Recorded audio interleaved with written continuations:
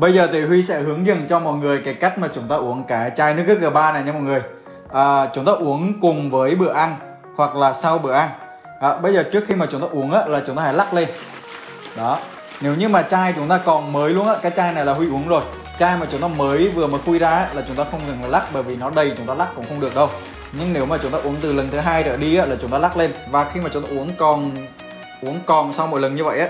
thì chúng ta nên là để vào trong tủ lạnh nha mọi người để nó được bảo quản được lâu hơn. À, sau đó là người lớn thì chúng ta rót ra khoảng tầm 30 đến 90 ml. Còn nếu như mà trẻ em mà từ 2 cho đến 8 tuổi thì chúng ta cho uống là khoảng tầm từ 5 cho đến 10 ml là vừa đẹp nha mọi người. Đó mỗi ngày chúng ta uống từ 2 đến 3 lần nha. Đây Huy sẽ uống cho mọi người xem nha. Ngon lắm mọi người ạ.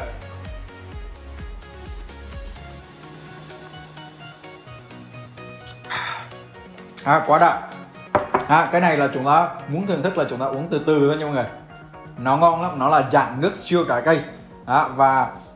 chúng ta uống thì nó sẽ giúp cho mắt của chúng ta nó sáng này cơ thể của chúng ta nó khỏe mạnh hơn ví dụ như mà chúng ta à, hay bị cảm cúm hắt hơi sổ mũi viêm họng hay là bị sốt à, hay là chúng ta hay bị bệnh vặt á, thì chúng ta uống để mà chúng ta cải thiện cái sức khỏe của mình để chúng ta tăng cái chỉ số chống oxy hóa để chúng ta tăng cường cái sức khỏe của mình lên ha à, hoặc là chúng ta uống để mà mắt của chúng ta sáng tim chúng ta khỏe. Và nó còn nhiều cái lợi ích đằng sau nữa. Da chúng ta đẹp ha mọi người ha. Đó, ok mọi người như vậy đơn giản như vậy thôi ha.